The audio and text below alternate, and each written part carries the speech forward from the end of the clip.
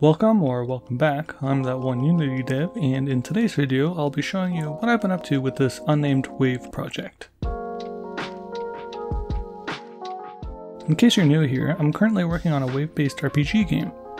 It's really early in development, and although it's shaping up well, I've barely scratched the surface of what I plan on implementing. Now that you're all caught up, let's talk about the spells and abilities for a second, which for now, I'll just abbreviate to spells. Last time, you might have noticed the simple combat from before. This is not how I want it to look in the final game. In fact, this Fire Punch is just one of the many spells I plan on adding. Since it's such a large part of the game, I decided it was better to get an early start on creating the spell system.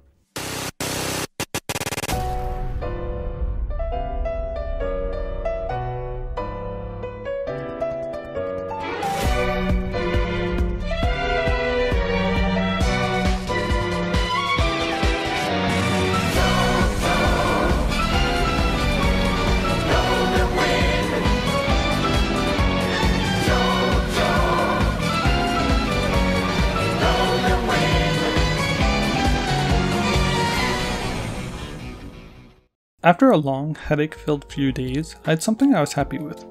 I created an easy to expand upon system complete with a hotbar, stats, and everything. There was one problem though. I didn't have any spells to collect. So I went to work and made the Fire Punch an actual spell, and then I created two new ones. A Fireball spell, and an Ice Armor spell. For the Fireball spell, it was pretty straightforward.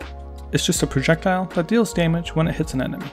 As for the Ice Armor, when cast, it summons 4 ice crystals that rotate around the player and absorb 1 hit each. Now, if this spell seems a little OP, that's because it is, so I put a massive mana cost and cooldown on it. After that was done, I quickly realized I have no way to obtain any of these new spells, so I made this little spell orb. Each spell orb has a unique icon, and when you collect it, it gives you the spell inside. With the spell system more fleshed out, I thought it'd be a good time to work on something different. So I added a stat menu, which you can open and close by hitting C.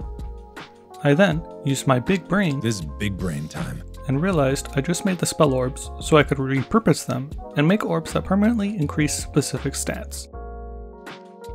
Speaking of stats, something you may have noticed is that I haven't shown enemies hurting the player.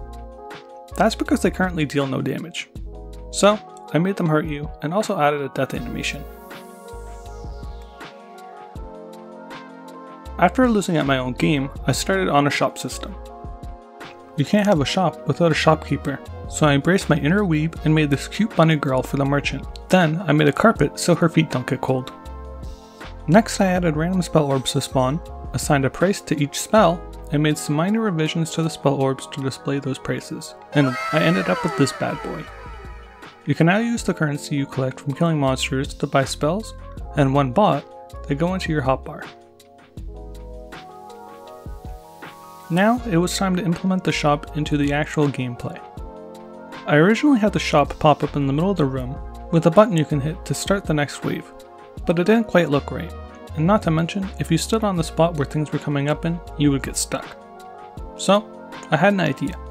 I decided to make the shop its own separate area and give players access to it between each wave. I created a detached room and this cool little altar which teleports you.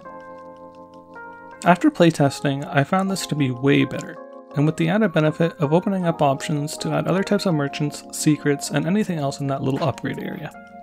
But that's all I have for this devlog. I'm really happy with the progress so far, and we actually got the core gameplay loop finished. So now, I can just focus on adding new spells, enemies, and gameplay features. I hope you enjoyed today's video, and if you want to keep up with the game, don't forget to subscribe if you haven't, and if you have any ideas, you can always join the Discord or leave a comment telling me what you want me to add next.